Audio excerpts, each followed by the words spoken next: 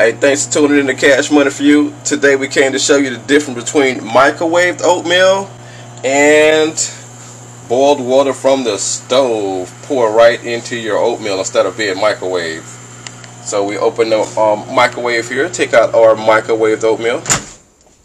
Get it out. So I've already took it out. I started the oatmeal just so I can, um, I started the microwave just so I can get into the video.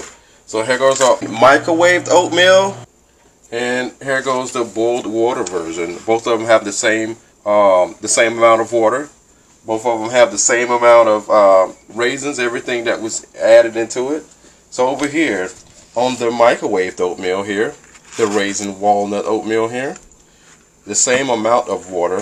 It's it's all there. I mean, it's not dry. It's not overdone. It's just right. It's just right. Same amount of water. Looks a little bit darker than the boiled water oatmeal, but that's okay. Color don't matter. So let's slide over here to the boiled water oatmeal. Let's see here. Stir it around here. Oh, this is the boiled water one, huh? Okay. So I don't have three hands, so here we go. Left hand whipping it, whipping it, whipping it. And it looks a little more moist.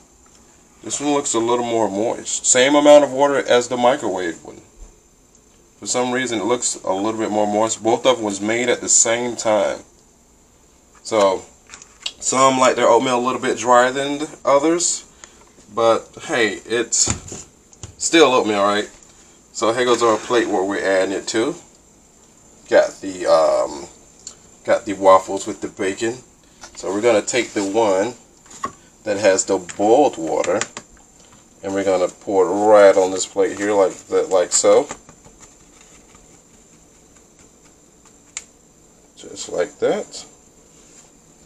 I'm going to come over here, take some of this whippity whip whip, and just put it on top like that. There you go. Don't be afraid. Put it on there.